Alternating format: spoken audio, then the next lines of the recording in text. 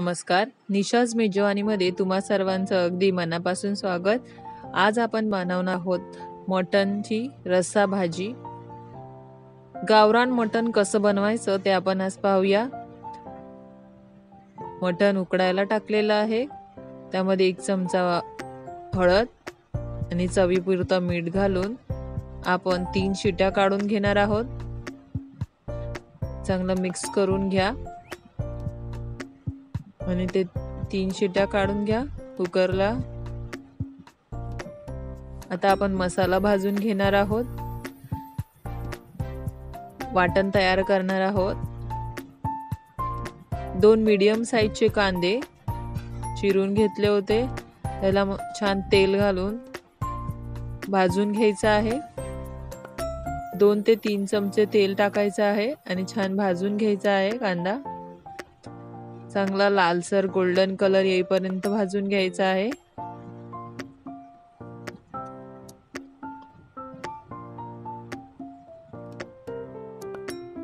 कांदा छान फ्राय झालेला आहे. तेव्हा आपण एका प्लेटमध्ये आता काढून घेऊ. आता पन्नास ग्रॅम खोबरं. तेलामध्ये छान परतून घ्यायचं आहे. किसून घ्या किंवा चकत्या करून घ्या. तुकडे घेऊ नका जेणेकरून तुकडे हे वाटले जात नाही मिक्सरला बारीक. हे पण छान तेल घालून मस्त खरपूस भाजून घ्यायचं आहे खोबरं. अगदी छान लालसर एक कलर येईपर्यंत भाजून घ्या. खोबरं छान भाजून घेत झालेलं आहे. त्यामध्ये दोन चमचे जिरं. ते सुद्धा तेलात छान परतून घ्या.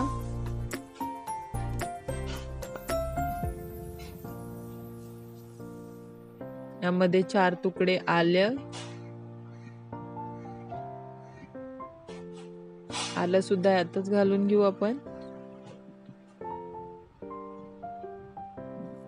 एक इंच आल्याचे तुकडं होतं.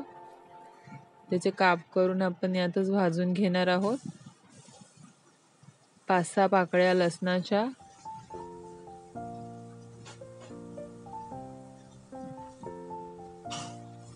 मसाला आपल्या प्लेटमध्ये एक काढून घेतलेला आहे. आता पाच सहा बदाम सुद्धा आपण छान गरम करून घेणार आहोत. आता तीन मीडियम साईजचे टोमॅटो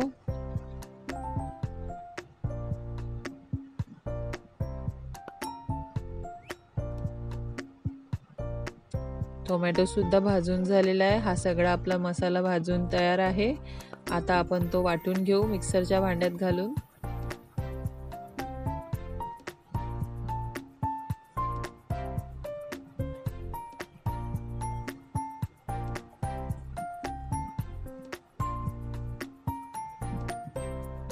याची छान बारीक पेस्ट करून घ्यायची आहे. मसाल्यामध्ये आपल्याला पाणी घालायची शक्यतो गरज पडत नाही कारण टोमॅटोला पाणी सुटतं.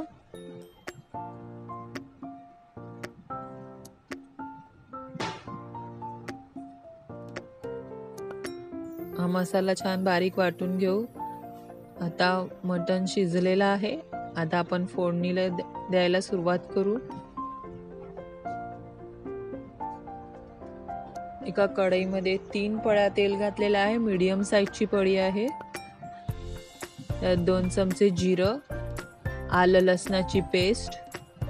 ही छान तेलामध्ये फ्राय करून घ्या.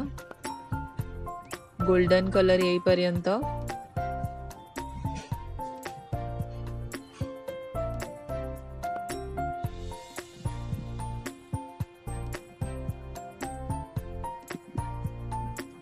आता त्यामध्ये आपण मसाला घालणार आहोत. गरम मसाला चार चमचे आणि पाच ते सहा चमचे तिखट म्हणजे लाल मिरची पावडर यामध्ये पाणी घालून हा मसाला ओला करून घेतला होता आणि तो आपण या तेलामध्ये आता घातलेला आहे. तो छान फ्राय करून घ्यायचा आहे तेलामध्ये. असं थोड्या वेळ ठेवल्यानंतर त्यामधून अगदी तेल सुटायला सुरुवात होते. अगदी खरपूस असा छान मसाला भाजून झालेला आहे. आता आपण हा वाटलेला मसाला या मसाल्यात मिक्स करून हा सुद्धा छान फ्राय करून घेणार आहोत.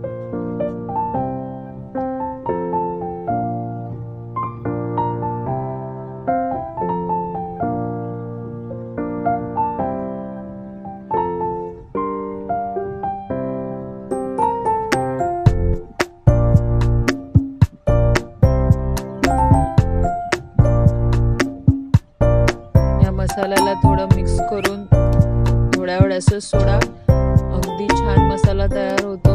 तेल सुटायला लागलेलं आहे तरी सुद्धा वर आलेली आहे. आता आपण एकदा चेक करू आपलं मटण शिजलेलं आहे की नाही.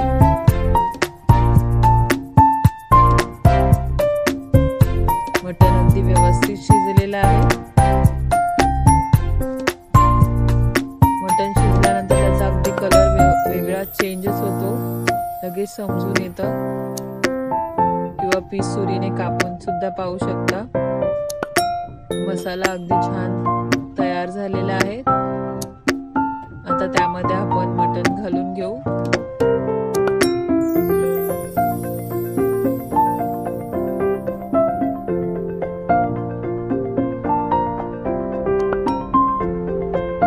अगदी मस्त उकडी येऊ देऊ. आता उकडी आल्यानंतर तरी आलेली आहे. एक्स्ट्रा पाणी घालायची गरज नाही. तेवढंच पाणी पुरेसं होतं. अगदी छान तरी आले आलेली आहे भाजीला अशा प्रकारे गावरान मटण तुम्ही सुद्धा करून